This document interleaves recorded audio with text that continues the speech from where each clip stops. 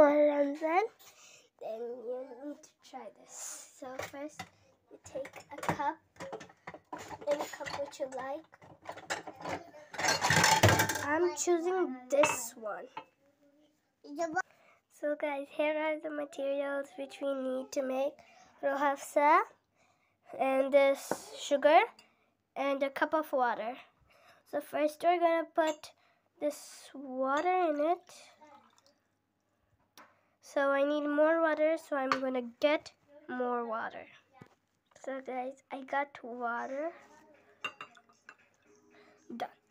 Then you need to add sugar and I'm to tell you how many teaspoons you need to add. We have to add one teaspoon in this cup of sugar.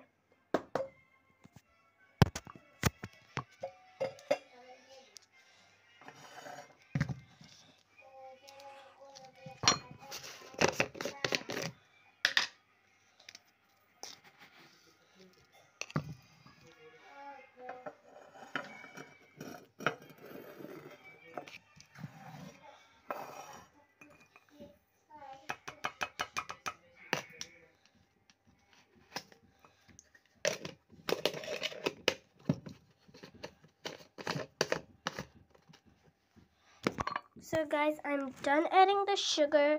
Now we have to add this roh afza.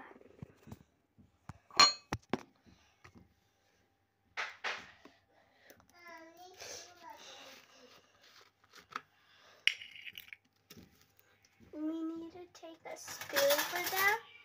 Spoon. We put this roh afza in this.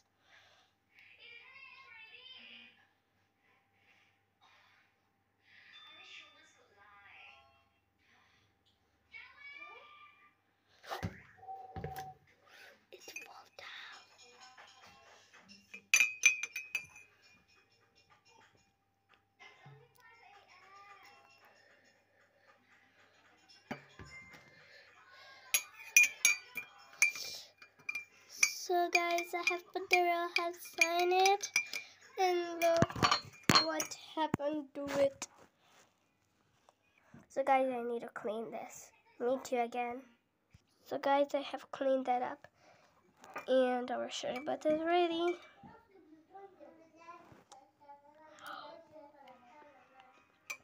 It tastes so good. You need to try this at home for Ramzan. Bye guys.